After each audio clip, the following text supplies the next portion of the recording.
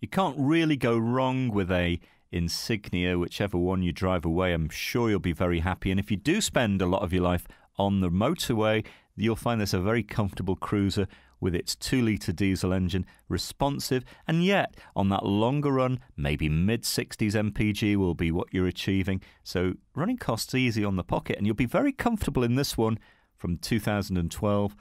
It's got all leather inside, and those front seats are heated, climate control, DAB, parking sensors and uh, it's only covered about 22,300 miles, so that's not too many. If you'd like to find out a little bit more, Jackie and the team are on standby, waiting to answer your questions. You can hold this car for up to 48 hours with no deposit and no obligation. Bring your license with you, have a test drive, and come and discover this great car for yourself at Fords of Winsford.